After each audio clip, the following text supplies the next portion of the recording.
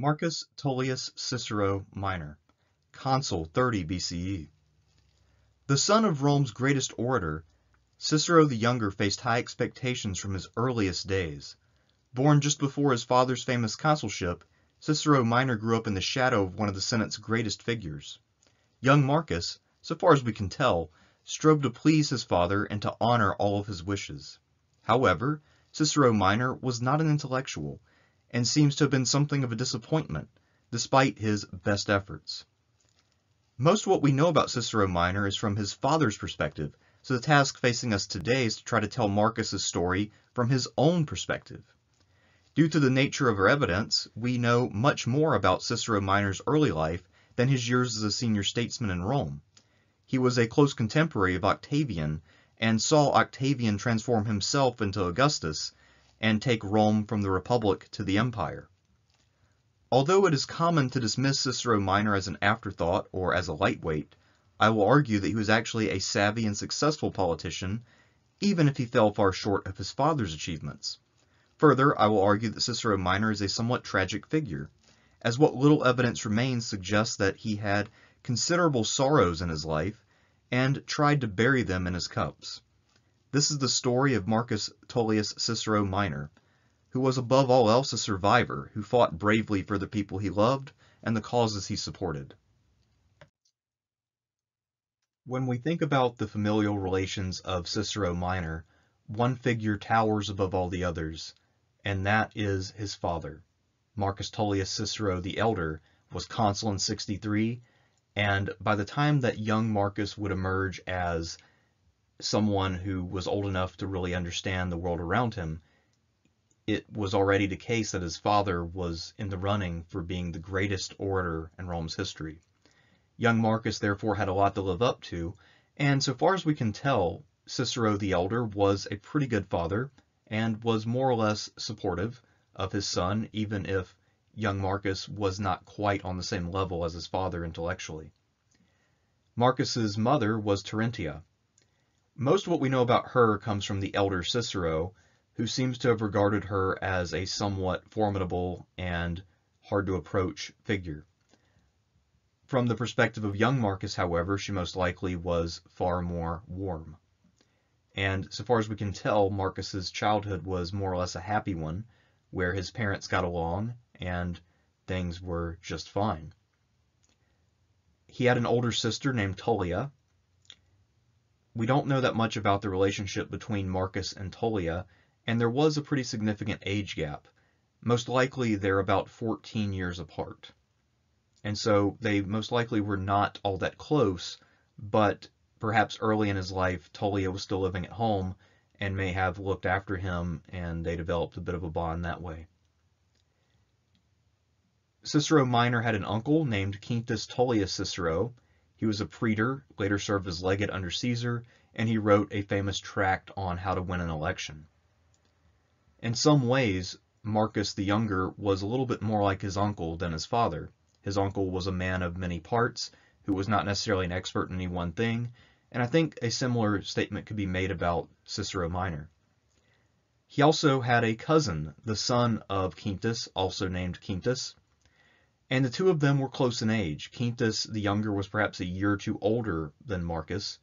The two of them, however, were raised together as their fathers wanted to make sure that the two cousins were as close as they had been as boys. And so the two of them would spend a great deal of their child and teenage years together. It's also worth noting that in some ways, Quintus the younger was more like his uncle, the great orator Cicero.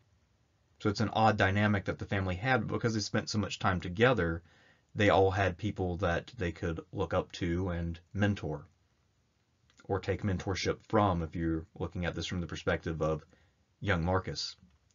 As for Cicero Minor himself, he was born in 65 or 64, and he would have still been a toddler at the time of the Catilinarian conspiracy in 63. He was the second and final child of Cicero and Terentia. They had had a long drought in having children after Tullia, and then Marcus was born when Cicero at least was now in his early 40s, and this would be the final time that the great orator would procreate. Members of the Roman aristocracy dreamt of attaining enough honor to equal or surpass what their fathers had achieved. Their families would press them to try to add luster to the family name and ensure that in the future members of the family would continue to succeed and thrive in Rome. Cicero Minor had just as much pressure on him as anyone else, if not more, because his father, Cicero, was one of the most famous men of his generation and had come to be known as the greatest orator in Rome's history. Cicero's fame continued to increase while his son was growing up, so for Marcus the Younger, the bar kept getting raised over time. He also found that the various trials and travails of his father's career were something that affected him physically. So when Cicero went into exile, young Marcus, who was still in his formative years was without a father effectively for a year or two. During the first triumvirate period, it was common for Clodius to direct violence against Cicero, and if he couldn't get to Cicero, he could make life unpleasant for Cicero's family. Young Marcus probably knew what it meant to be afraid of a mob. So from an early age, Marcus not only knew that he was destined to become like his father and deal with the, all of the same challenges, but it also became apparent to Cicero the Elder that his son would not go on to be one of the great orators of his generation, and that he would not go on to share his strong interest in philosophy and rhetoric. That does not mean that the younger Marcus couldn't be successful, however, just that he would not be able to attain the same level of success. And in his letters, we see that Cicero's writing about his son seems to indicate some fondness. He says when Marcus is a very small boy that he's very affectionate, and later on he talks about him being a good and dutiful son. But he does kind of see his son as being a bit limited in terms of his potential. Cicero spends more time talking about his relationship with his daughter Tullia and also his relationship with his nephew Quintus, who he sees as the more capable of the two Cicero boys. So while Cicero the elder does not outright say that his son is a disappointment, and most likely was affectionate and attentive. It's clear if you read his letters that he had a degree of favoritism for his daughter and his nephew. And whether Marcus knew about this or not as a kid is unclear. What is very clear, though, is that as an adult, when Marcus inherited his father's estate and all of his letters, he would be quite aware of how his father felt about where he stood in the hierarchy of the next generation. And I imagine that if he hadn't been aware of that before, it must have come as a rather painful revelation to realize that he was very much third in his father's affection. When we read about the fluctuating fortunes of great Romans, it's very easy to fall into the trap of only considering how these events impacted their lives without thinking about the people around them the families and households of all these great Romans would be equally, if not more, affected by the various turns in fortune that afflicted the named figures in history. In the case of Cicero Minor, his father's fortunes did in fact take a turn for the worse around 59 or 58. By 60, Cicero's star was already fading. His consulship, while it had been seen as a smashing success at the time, had outworn its welcome, largely due to Cicero bragging excessively about it. He had bragged so much about his role in saving Rome from Catiline that even people who were inclined to agree with him politically had come to find him obnoxious. He had even gone so far as to try to commission poets to write an epic about his consulship, a commission that no one was willing to take. Cicero eventually took it upon himself to write an epic, and this epic was a flaming failure. For all of Cicero's genius at prose and speaking, he just was not a poet. So Cicero was having to deal with all this failure, and he writes around 60 that while things are going badly in public and while there are increasingly rumblings about prosecuting him for how he handled the Catilinarian conspiracy, he said that things at home were still good, and that he and his wife were getting along, and he was enjoying spending more time with his young son Marcus. But then the following year, or about two years later, so by 58, things had turned dramatically for the worse. The first triumvirate had been formed, and Clodius, who was tribune, used his powers to get Cicero exiled. Cicero had to leave Rome, and while he was away, his house was razed. so he no longer had a residence in Rome to go back to, and this meant that Terentia and young Marcus were also forced to leave Rome. Cicero tells us that his wife Terentia was frail at the time, and that he was concerned with his family, but most of the content of his letters is just filled with self-pity, talking about how he will never again enjoy the praise of the crowds that he deserves, and how he'll never again be able to stay in Rome and help make decisions and uh, achieve his destiny. We think, but we don't know, that Terentia most likely went to Arpinum, Cicero's hometown and possibly her hometown, and this meant that young Marcus would have a chance to get in touch with his roots. How young Marcus took all of this, we don't really know. He may have been a bit too young to really understand what was happening or to understand the exact extent of the danger facing him. But most likely he was just old enough to at least perceive the danger even if he didn't really understand any of the reasons behind it. We don't know all of the details of young Marcus's education, although we know quite a few of them. Presumably his first teachers were assigned to him in Arpinum, and his mother sought them out and hired them. Later on, when Cicero returned to Italy, he would have taken a strong interest in the education of his son, and so he began to take over that process. When Marcus was nine years old, Cicero hired the famous grammarian Turannio of Amisus to teach Marcus and his cousin Quintus. In general, Marcus would look after his nephew's education on behalf of his brother, who often tended to struggle with money. This was also because Cicero was very much dedicated to the idea of making sure that young Marcus and young Quintus grew up as the best of friends. In 54, after a couple years with Turannio, Cicero commented that the two boys had grown very close, that they were very happy, and that their education was generally proceeding well he seems to have been pleased with Turannio's performance. However, there is evidence in the letters that refer to the early education of Marcus Cicero that his father had very much developed feelings of favoritism toward his cousin Quintus. Cicero says that Quintus not only looks more like him, but is the more clever of the two boys the way he phrases it makes it seem like he is accounting for the difference in their age when he says that Quintus is the more clever of the two. So once again, if Marcus later in life was reading the letters from this time, he would see that the favoritism toward his cousin began relatively early.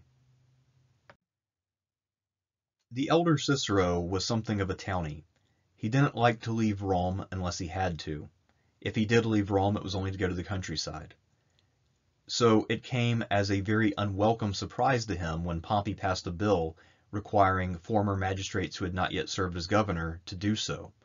Rome had a shortage of provincial governors, and it turns out that on that list of men who had held a consulship or a praetorship and never been governor, Cicero's name was near the top. So 12 years after serving as consul, Cicero was selected to go to Cilicia and serve as the proconsular governor. This was not a choice assignment. Cilicia was a rough and rugged place. There were bandits there, and often it was prone to revolts. In order to make sure that he could do his job properly, Cicero determined that he would need the aid of his brother, Quintus, who was a seasoned soldier. Quintus had done well as a legate under Caesar in Gaul, and his services in Cilicia would be indispensable. In fact, in many ways, while Cicero was a nominal governor, it would be his brother Quintus who would do all of the actual work. As they traveled east, the two elder Cicerones decided that their sons should go to Cappadocia rather than accompanying them all the way to Cilicia. Not only was it safer in, in Cappadocia, but they were able to take up residence at the court of King Deiotarus of Galatia. And not only could they continue their studies here and learn about Hellenistic court life, but this also meant that they were there as a form of insurance so that Deiotarus felt comfortable sending his Roman pattern legion south to aid Cicero in his efforts to subdue Cilicia. So already Marcus and Quintus, the younger ones that is, had impacted Roman politics in a tangible way by ensuring that this legion went to the aid of the Romans.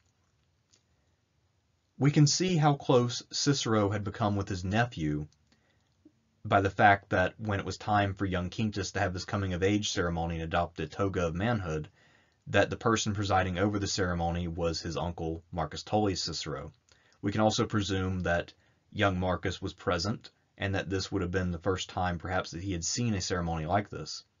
How he felt about his father lavishing so much attention on his cousin is hard to say, but if the two boys were as close as Cicero seems to think they were, then most likely Marcus was actually not jealous about this. On the way back to Rome, Cicero determined that the four Ciceroni should take a family trip together. And so he decided to take a break from Roman politics even while the crisis was brewing back in the West. And the four of them actually took a big detour to Rhodes, where Cicero took them on a tour of the place where he had studied as a young man. Perhaps he was trying to inspire his son and his nephew to want to go to the Greek world and study. This seems to have had little impact on either of them, as it would turn out. Marcus was set to don the toga of manhood in 49. However, all of the events of that year, and not just Marcus's coming of age, were very much upstaged by Caesar's crossing of the Rubicon and the outbreak of the Civil War. Most likely in the Cicero household, the blame was cast entirely at Caesar's feet. At any rate, the elder Cicero was quite beside himself with grief for the Republic, and he also saw this as something that would only end in disaster. He had predicted from this time forward that almost certainly Caesar would prevail over Pompey in the Senate. Nonetheless, a depressed Cicero the Elder took his son back to Arpinum, the family's um, ancestral home, and there Marcus celebrated his coming of age. Cicero said that the people there loved him, and that it was a pleasant ceremony and that they had a good time. We don't know how good of a time it was for Marcus or how attached he was to Arpinum, although because he probably spent some time there as a child, he most likely did have a bit of affection for the place. Most likely, the biggest complaint Marcus would have is that his cousin Quintus wasn't there. Quintus claimed that he couldn't be there because his mother was ill. I'm sure Marcus accepted that excuse, but still, it would be a better coming of age if someone you had spent your entire childhood with was there. After all, you'd been there for his coming of age, so it's a bit disappointing. But when it went from disappointing to perhaps infuriating is when Marcus and his father learned that Quintus had been absent not because he was visiting his sick mother, but rather because he was in Rome informing Caesar that his uncle was planning to go to Greece to join Pompey, a move that was explicitly forbidden. In Cicero's letters, it's quite clear that he is much more concerned with his nephew's betrayal and adherence to the Caesarian cause than he is elated by his son's coming of age. Nonetheless, Cicero did manage to use his influence as paterfamilias to more or less force his entire family to follow Pompey to Greece. Once he got to Greece, however, Cicero found that this was a source of yet more grief. He was not able to find a suitable command. The elder Cicero thought that he was worthy of at least a province, and nothing like that was offered to him commands only went to people who were loyal optimates with fancy names. And so the elder Cicero sat around and griped and mostly was an annoyance to Cato the Younger who was governing at Dyrrachium. As for young Marcus, his experience was quite different. He seems to have been an easy person to get along with, and he also seems to have made a lot of friends in the camp. He was even given command of a small cavalry unit, this was most likely a concession to his father, since his father clearly was not getting anything out of being in Greece. Young Marcus did well in this role and fought bravely at Pharsalus, even though we don't have too many details. After the battle, Caesar pardoned all of the Cicerones and they returned as a group to Italy. And it's only here and now that we see young Marcus for the first time asserting himself as a politically active man when Cicero the Elder was uh, considering rejoining Pompey despite having accepted Caesar's pardon, Marcus pointed out the folly of such an action and how it would bring about disaster on the family and even on Cicero himself. Marcus tearfully pled with his father and ultimately won his approval. Cicero decided to sit out the remainder of the Civil War. and to simply sit on the sidelines and wait for it to be over. Had Marcus not intervened, it's very probable that Cicero would have arrived in Africa and then been executed the second time he was captured. So Marcus, in many ways, not only did well in battle, but also proved himself to be a man who looked after the best interest of his father. By the summer of 45, it was clear that the civil wars were nearly at an end. By this point, Caesar only needed to finish off one more army in Spain under the command of Titus Labienus. The younger Quintus was growing restless in Rome and had always been a Caesarian at heart, and so he defied his father's wishes and joined Caesar's army that was heading for Spain. Marcus didn't want to defy his father, and he knew how his father felt about Caesar so he asked for his father's permission to join his cousin. Cicero, instead of simply refusing, instead relied upon persuasion. And he convinced his son that it would be dishonorable to fight on more than one side in the same war. He said instead you should take yourself to Greece and study rhetoric at Athens. This will better prepare you for the future career that you're going to have when you come of age. Marcus, for his part, does not seem to have been terribly enthusiastic about the notion of going to study. He was not a natural intellectual, and does not seem to have been nearly so bookish as his father. He also had figured out by this point that he was far better on a horse than he was with a pen in his hand. Nonetheless, he decided that it would be best to obey his father, and so he decided to heed his father's advice, even if this was not necessarily where his heart was at. When he arrived in Athens, Marcus quickly proved himself to be active and enthusiastic, at least when it came to his social life. He was having quite a good time. His father was very much worried that his son would not take things seriously enough, and so he struck up an extensive correspondence regarding Marcus's studies. Of particular importance here is Atticus, who lived in the area and kept close tabs on Marcus's behavior. Atticus seems to have issued mostly positive reports about Marcus's conduct, and it appears that Atticus was very fond of the younger Cicero. Marcus was able to use his social skills, which seemed to have been much better than normal, in order to make friends with almost every student around him and also with most of his professors. He took to actually going to dinner with his professors, which seems to be a bit unusual. He seems to have gotten a little closer than normal to most of his teachers, perhaps as a way to make sure that they sent positive reports back to Rome. It was during this time that Marcus also showed an inclination to drink too heavily, and in fact this had his father worried. Cicero the elder was so worried in fact that he explicitly forbade Marcus from associating with the rhetorician Gorgias, who was an especially notorious drinker. Despite his general lack of seriousness and how he elevated socializing above studying, Marcus did manage to make some significant progress as an orator. Cicero would read one of his letters and comment that his son had clearly been doing something right, and that his teachers were clearly keeping after him to some extent.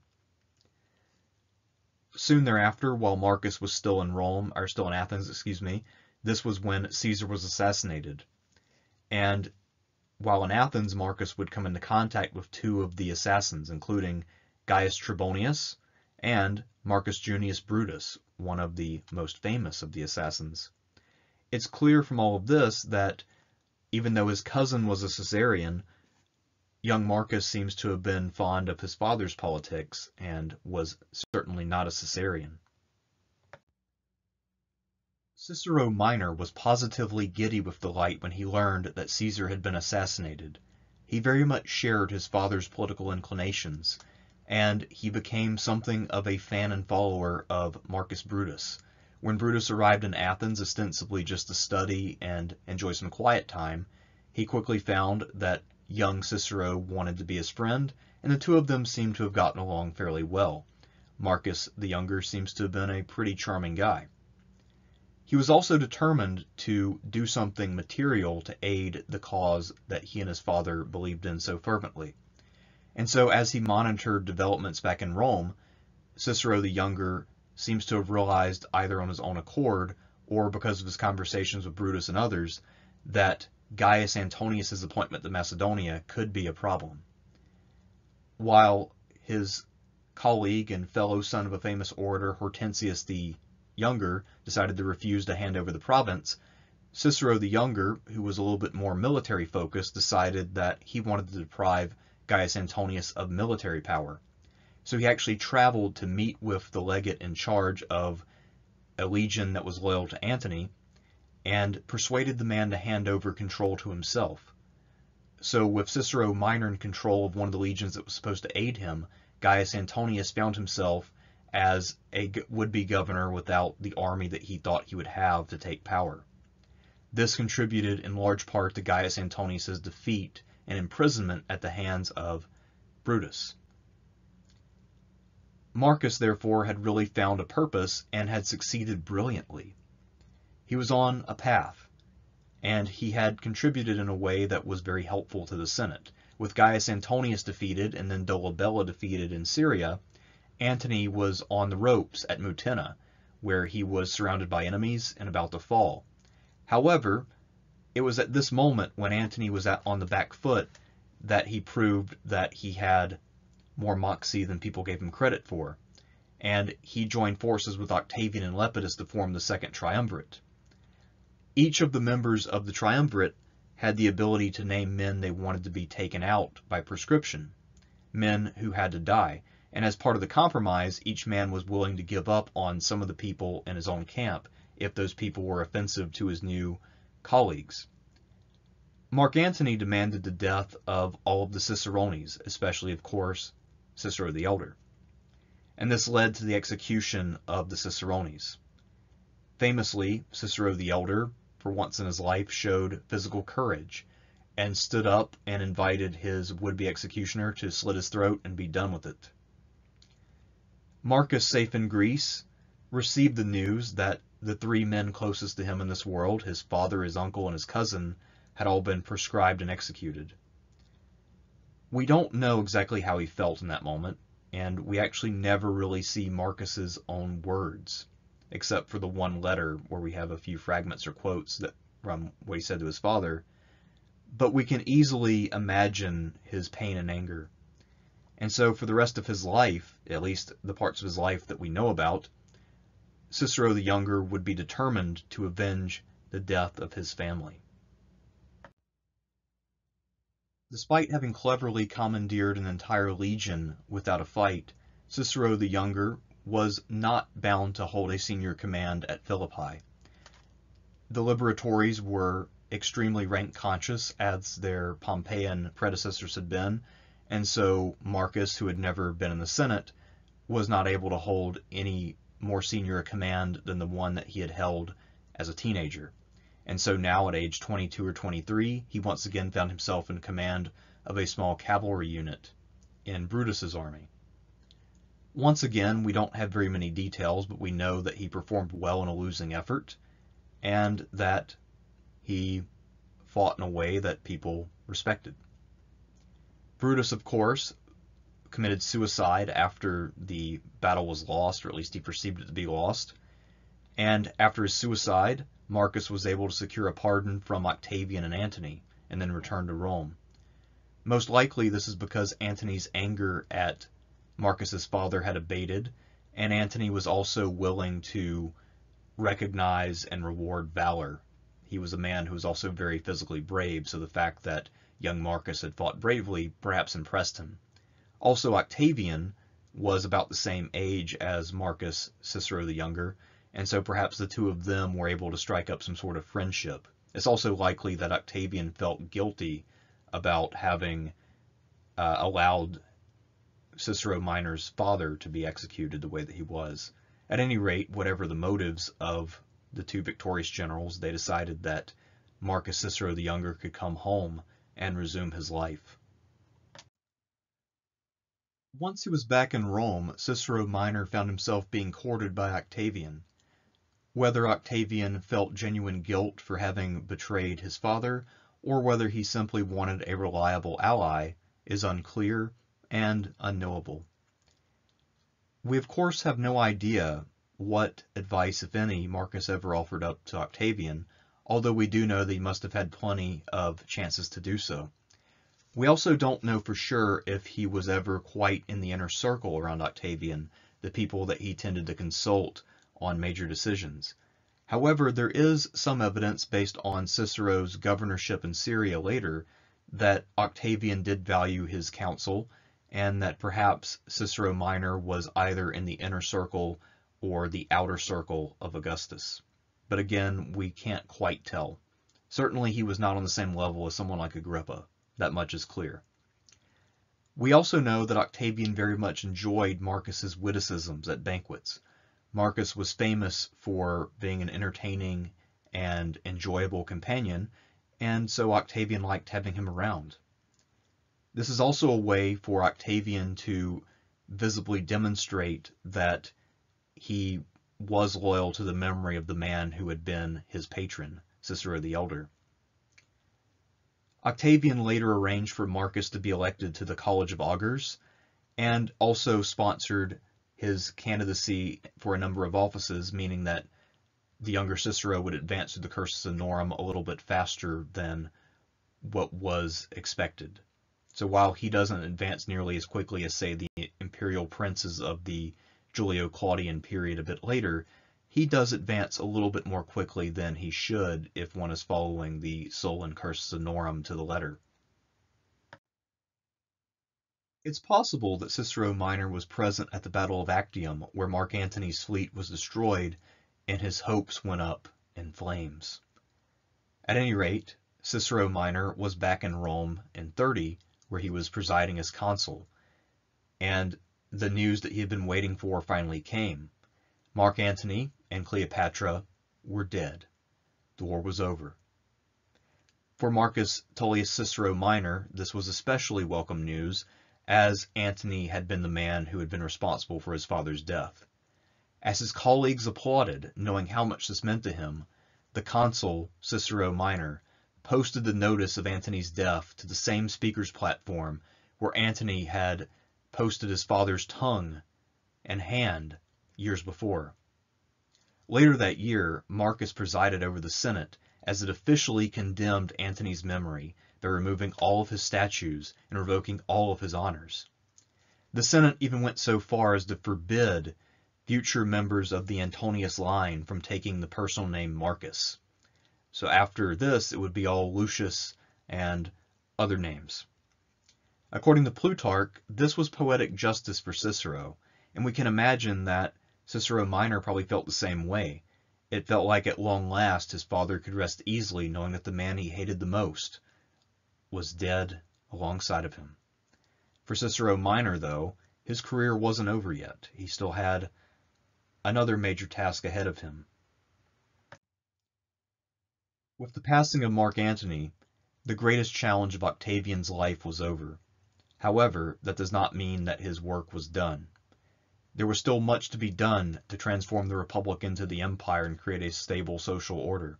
In order to do that, Octavian needed reliable and capable people at his side. He apparently regarded Cicero Minor as such a person. After presiding over the celebration of Octavian's victory Cicero Minor packed his bags and headed out to Syria, where he assumed the proconsular governorship. This was not an easy assignment. For starters, Syria had, was on the frontier, and Crassus's defeat at Carrhae had never been properly avenged. If anything, Antony had added to the shame by getting defeated himself when he tried to invade Parthia. This was still a recent memory, and in fact it was Antony's defeat at the hands of Parthia that gave Octavian the opening that he needed to resume the war and finish off Antony at Actium. So there was the possibility of a war breaking out with Parthia. To add to that, the legions under Cicero Minor's command were all units that had served under Antony and might be unhappy with the change in leadership. While they were certainly happy to receive a paycheck from Octavian, this does not mean that they were fully loyal as of yet. And so Cicero Minor was in a difficult and potentially delicate situation. Octavian clearly must have trusted this man's administrative skills and his loyalty, I say loyalty in this case because he was putting him in charge of legions that might not be 100% loyal. And so he knew in his heart of hearts that Cicero Minor would do his duty and would settle Syria in a way that would make it safe. And so far as we can tell, we have few details, but Cicero Minor seems to have done just fine. In fact, he seems to be generally regarded as a relatively capable administrator. Although Cicero Minor was clearly capable and successful, this does not mean that his personal life was anything approaching happy or healthy.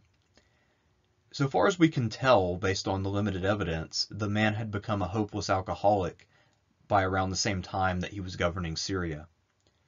He had developed a reputation for getting blackout drunk at parties and for sometimes making scenes. Now, whether this was an occasional thing or whether it was more frequent, we don't know. We only have the attestations of the times where things got out of hand. For instance, at one party, the normally agreeable Marcus hurled a goblet at Agrippa. Apparently, this incident was brushed aside and everybody moved on. But something like that could result in a blood feud. Roman aristocrats were notoriously thin skinned, and things like that could have gotten much worse. However, given that Cicero the Younger and Agrippa were both generally known as being relatively easygoing guys, I'm sure they were able to patch it up. There's another incident that is a little more concerning.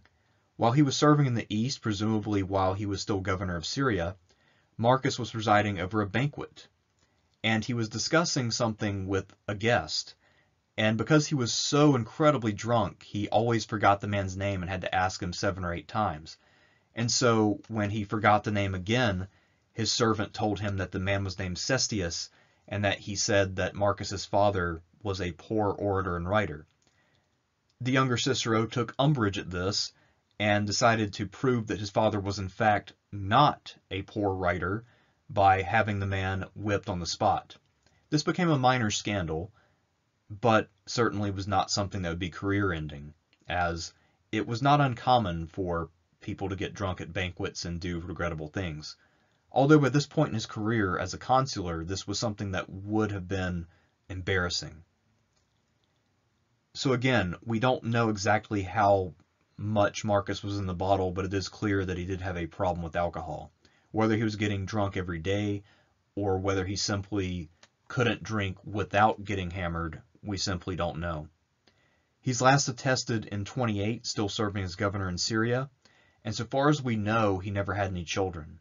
So after him, there are no more Ciceros so far as we can tell. And that ends his story. Cicero Minor is not one of the great Romans. To put it simply, Cicero Minor is not his father. However, he is still important in his own right, and we can learn a good deal by studying him. For instance, most what we know about aristocratic Roman childhood is about Cicero Minor. Due to his father's writing, we have a pretty good picture of what a child's life was like if they were born into a senatorial family. So if you were to look up studies of Roman childhood as they pertain to members of the upper class, you will notice that most of the footnotes ultimately lead you back to Cicero's letters where he refers to his son. He also is a bit more typical of your average Roman senator than most of the great Romans you can learn about by reading Plutarch's biographies.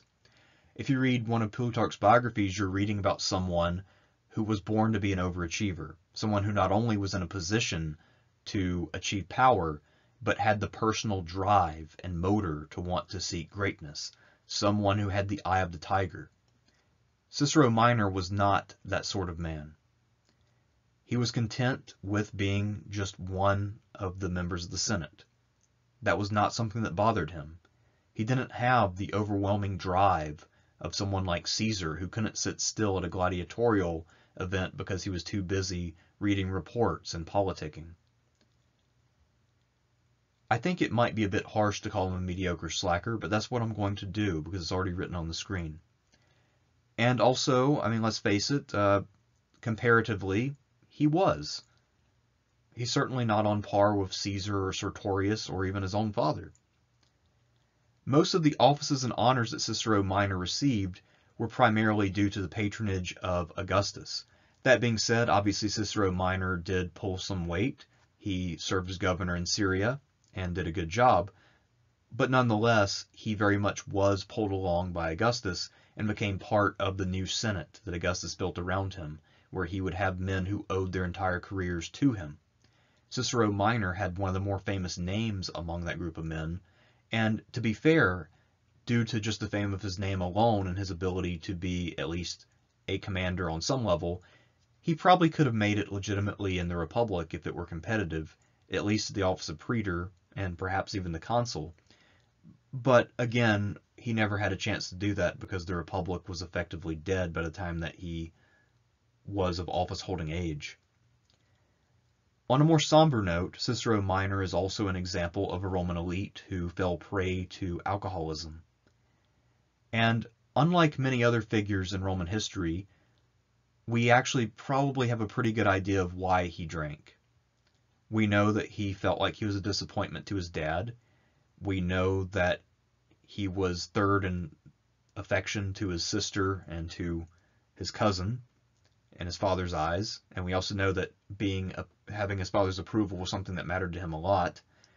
We also know, of course, that he lost his family at a young age. And so when we think of the reasons why people might drink, we can actually identify with Cicero Minor. If we were in his shoes, we might very well also seek to drown out our sorrows in wine.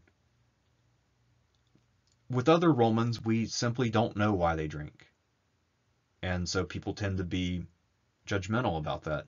But with Cicero Minor, it's hard to do that because we have a pretty good idea of what's going on with him.